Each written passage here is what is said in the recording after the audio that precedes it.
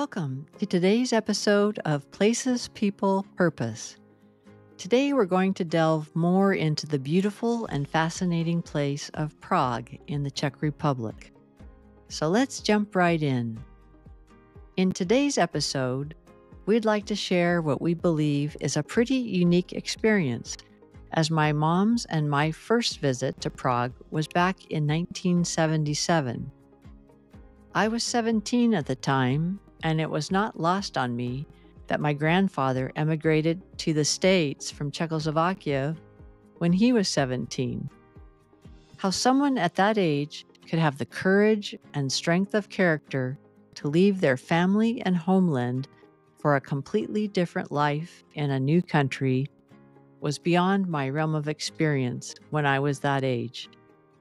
I was bright enough, though, to have at least a small understanding of what that might entail, as well as a deep respect for my grandfather's courage. The reason for the trip is that my grandfather wanted us to go back to Prague so he could show us where he was born. In 1977, Czechoslovakia was still a socialist republic and satellite state of the Soviet Union, as communist rule didn't end there until 1989. But my father felt compelled to honor my grandfather's wish, so off we went to Prague, my grandparents, parents, and me. It's interesting the things you remember as an impressionable 17 year old. My first memory is of flying into Prague on OK Airlines. We were the only airplane in sight and the runway had big weeds growing out of it, like it was rarely, if ever, used. I hadn't seen anything like that before. Turned out it was a harbinger of things to come. When it came to the city itself, I have distinct memories of the buildings in Prague being extremely dirty. It looked as though they were all covered in soot. There was also a lot of scaffolding on the buildings, but no work being done. The buildings just seemed dark and dreary, which, if you've been to Prague in the last 25 years, seems almost impossible to believe. The contrast between the lively, vibrant colors of Prague today and what we saw in 1977 couldn't be more stark.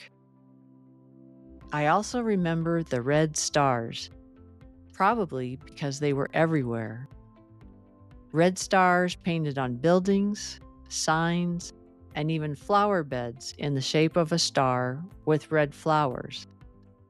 As a teenager who wasn't particularly noted for my perception or awareness, this powerful imagery still struck me as oppressive and overwhelming.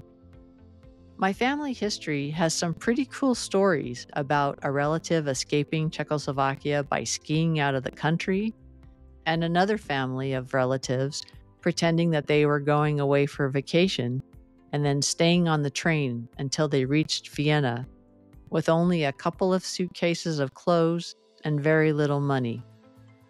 We also had relatives who still lived in Prague, so of course we took this opportunity to visit them. I remember going out shopping for groceries one day. Forget about anything like one stop shopping but in many European countries, it was fun to go to one store for your bread, another to get your cheese, and so on. Here, there were lines everywhere, but practically nothing remaining when you finally got to the end. We waited patiently in the line at the store for vegetables, but what was available when we got to the counter was a few shriveled carrots and some other vegetables that looked anything but appetizing. As you can imagine, for a teenager growing up in the States, it was difficult, if not impossible, to wrap my head around all of this. How could something like this even exist? Where was the McDonald's? What I also remember is that even though our relatives had very little, they would gladly give us anything they had. Seeing people with so little being so generous also made a huge impression on me.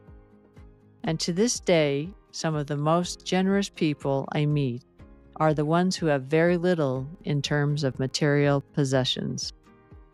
I've learned that generosity is certainly not dependent on abundance. One of our relatives had made a reservation for us at a hotel located at the end of the St. Charles Bridge. What an amazing hotel and location! My dad told his cousin that he didn't need to get us such an elaborate room, but apparently most of the hotel rooms were sold out because Prague was a place where East Germans and West Germans could meet each other and spend time together. The few hotel rooms that existed were hard to come by. Because hotel rooms were not usual or abundant, our relatives were intrigued and wanted to see what our room looked like. So they came up to our room. We were showing them around when there was a knock on the door. It was members of the Communist Party and they asked our relatives for their passports and then left. The air was thick with the power and intimidation that they meant for us all to feel. Obviously, all of this surprised our relatives and made them very ill at ease. They only received their passports back when they went to leave. What we also came to find out is that there were stores for tourists and stores for the local Czechs. The stores we were able to go to had all kinds of Czech crystal and other beautiful items. The local people were not allowed to go into these stores. And even if they had been able to go in, they certainly wouldn't have been able to buy anything there. It was the same with restaurants. There were restaurants you could go to, but these were really for tourists instead of the local public. It was so obvious that the people were oppressed, but also very clear that they loved their country and culture. They also were amazingly curious about the United States and anything else beyond the borders of Czechoslovakia. Another thing we noticed was a lot of baby carriages, and strollers, and babies. We asked our relatives about it, and they told us there had been a government dissuasion against having babies, which had the impact of a de facto moratorium. Recently, the policy had changed, and the government was actually providing subsidies to couples who were having children.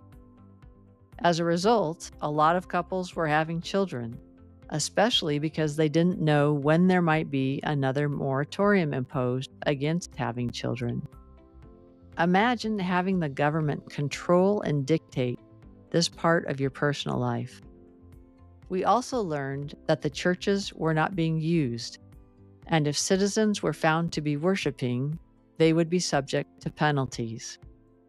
We went into some very beautiful churches, and they were empty, other than tourists. They had essentially been turned into museums. Even with all of the oppression, Prague seemed to have music everywhere. We attended several impromptu concerts being provided in exchange for offerings. And this really brought home to us the rich musical heritage of the Czechs. This part of the Czech culture could not be eliminated. It was irrepressible. When it came time for us to leave, my parents called the front desk of the hotel to let them know we would be departing the next day. The woman at the front desk not only knew we were leaving, she knew what flight we were on and where we were headed. This was Big Brother at its finest. When we were all at the airport to leave, the police said they weren't going to let my grandparents go because they were born in Czechoslovakia and they were supposed to report to the police as soon as they arrived in the country, which they didn't do. This was quite traumatic for our family as we really thought we might not be able to leave. As we later found out, we weren't the only ones who were being given a hard time by the police. I still remember what a great feeling it was when we finally got airborne on our way out of Prague. Our experience to this day reminds us how lucky we are to live in a country that is free, and this experience will ensure that we never take that for granted. That's all we have for today. We hope you enjoyed this look back in time at the city of Prague during the 70s.